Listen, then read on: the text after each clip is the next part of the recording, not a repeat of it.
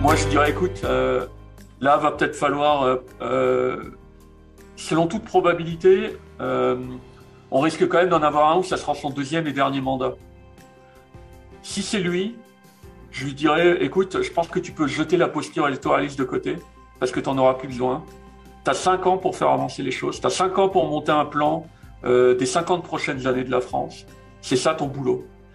Et s'il s'en a un autre, je lui dirais à peu près la même chose en disant, OK, peut-être que tu veux te faire réélire, mais si j'étais toi, déjà, un, j'essaierais de passer un septennat non renouvelable pour qu'on arrête d'être toujours dans ce genre de posture-là.